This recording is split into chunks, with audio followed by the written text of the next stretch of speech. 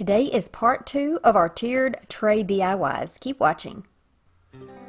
I'm Brandy and this is Making It My Own. Today is going to be more laid back and simple. I'm going to start off with this little project that I did back in the summer, I do believe. And I'm going to take off all the pieces. This is a little block. You can essentially get these at Dollar Tree, at Target Dollar Spot. You can cut a piece of wood, whatever you have. You can use piece of decorative paper. You can use construction paper. You can use crafting paper. You can use Dollar Tree ornaments, snowflakes, trees, whatever you want to use. This is me playing it out in my head to see exactly what I want to do here.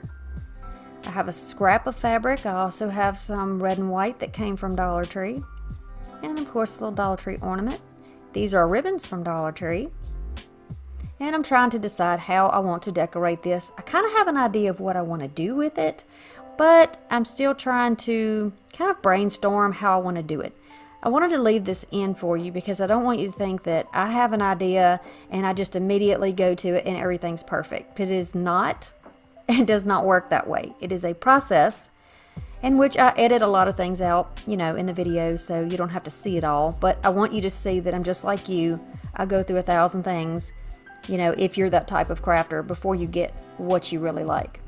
So I had my block turned long ways and I had the block turned sideways and just trying to decide how I wanted to wrap this ribbon around it. This particular ribbon I got, I think on clearance. I want to say I got this on clearance from uh, Walmart, either Walmart or Dollar General. But you know, pretty much a little basic ribbon. It is wired, but you don't need wired ribbon. You can use anything um, that you have. I just wanted to make sure that I covered up where I'd torn that paper on the block. Then I have some of this gorgeous polka dot ribbon, and this you can get pretty much year round at Dollar Tree. I've seen it at all of my Dollar Tree stores. And you can just get it over there near the, the garden section. It's the little yellow and green packaging. It's good ribbon though, and it is wired, you know, in case you want to get it and use it on another project. This is also wired, though that's not necessary. And I'm just going to put it around the top. I'm just layering this because I like the look of it. I like the polka dots underneath. They almost look like snowballs, I think. And then, you know, the trucks have the Christmas trees in the back and they're covered in a little dusting of snow. So I think it looks good together. I'm going to use a little foam block here to give me some elevation and put down this little tree, Dollar Tree. I think it's for the mini trees, little ornament. But I like to craft with these things. Give them lots of purpose and meaning. Give it some new life. So, so far you can see what I've done here and I just kind of want it to look like a present, like a gift to sit on my tier tray. I'm measuring out my ribbon here. I know you can't see it and I do apologize for that. I was having an off day um, when I was doing this. After I cut my finger, it kind of put me in a rotten mood. but, um, yeah, so I just measured it across the top. I'm bending it over. This is wired ribbon and you do need that for this. I'm just cutting through the wire here. I have three loops on one side, two loops on the other side. That was an accident. I had intended to just do two on each side, but it worked out for the better, I think. I think it looks really cute how it turned out. You're going to put a piece of jute or whatever you have, a little scrap of something right in the middle just to tie it off. I'm going to put it in a double knot because you're going to do quite a bit of pulling on this ribbon and you don't, don't want it to slip out. Then you're just going to take the loops of your bow and just start pulling them apart just like this. And this is when I realized that I had five instead of three. I mean, instead of four, rather. But I'm okay with it. I'm okay with it. I think it looks okay. We don't do everything perfectly and we don't always get it right the first time. So just, you know, go with it. Just kind of go with it. These are happy mistakes. Okay, so it looks kind of like a flower or a piece of candy, doesn't it? We're going to cut off our excess because we don't need to tie this to anything. And then we're going to make tails. Now, I made a bunch of different kinds of tails. I'm just going to glue this down and then we're going to look at some options of what you could do if you want to do something that may be different than my end result. And then I'm just going to take some little berries. I had some extras to fill in that hole on my Christmas tree. I think it looks cute there.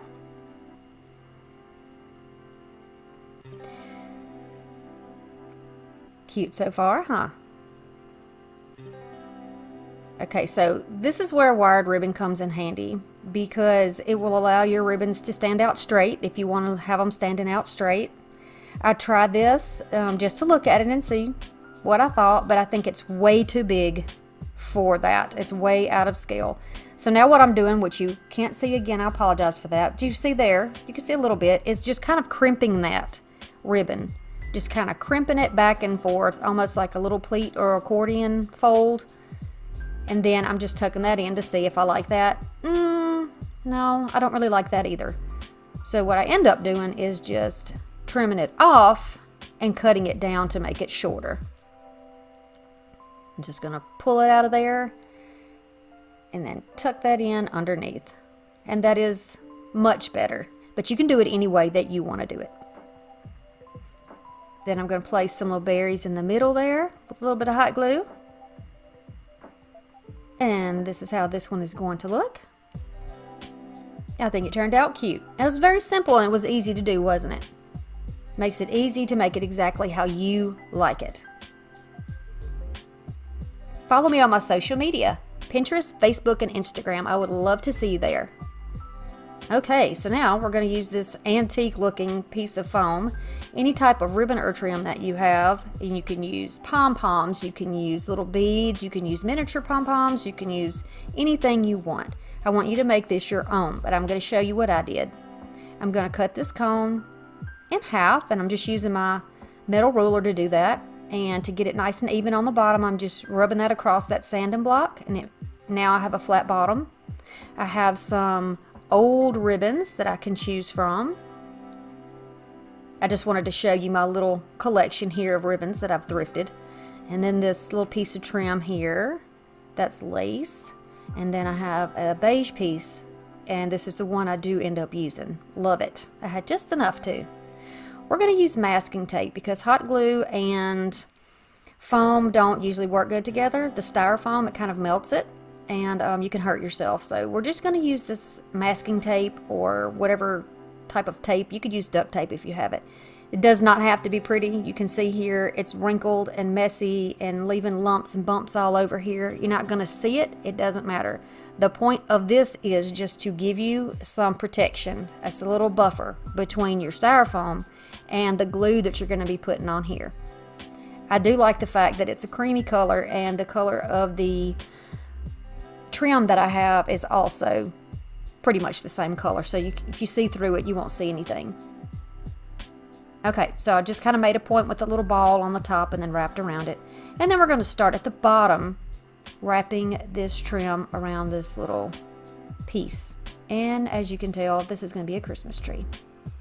So you can see what we're doing here, just a little line of glue I don't want the bottom of the trim to hang way over, but I do want it to go over just a little bit because I think that this piece of trim looks a little bit like, I don't know, like it would be on a pine tree, right? Like boughs or branches.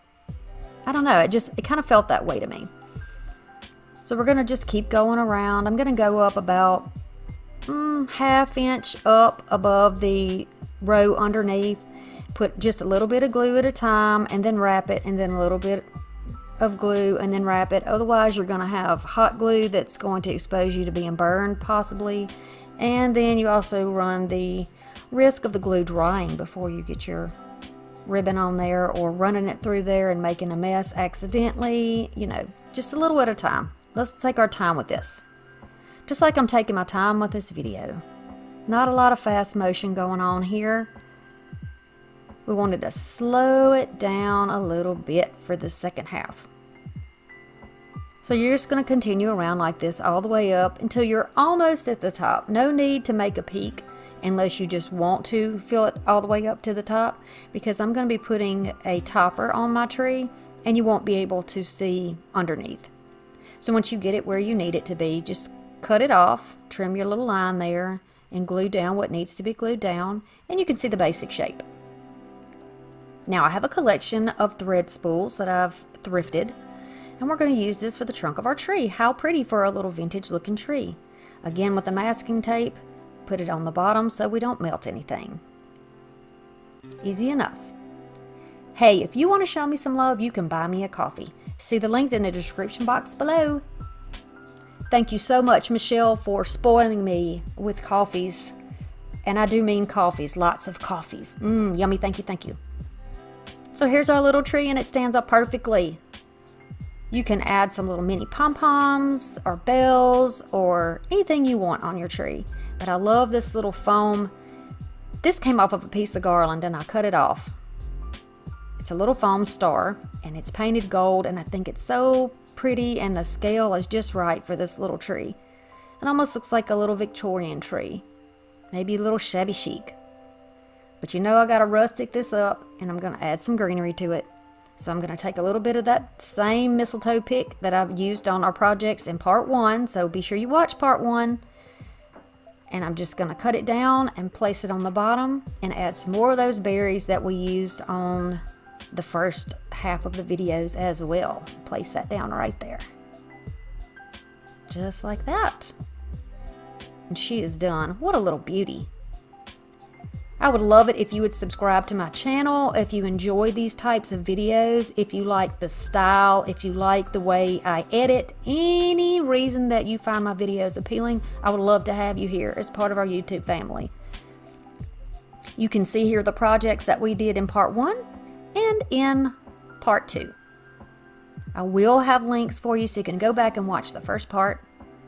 And then remember yesterday or the time before we didn't have our box lit up. Look at there. The hot cocoa box mug is lit up now. And all of her glory there she stands. How about that? What do you think about all that? Which one was your favorite of all of these projects? I would love to know. I'm so grateful for you and you all bring me joy. I'm so happy that you stopped by and I'll see you again soon. Bye.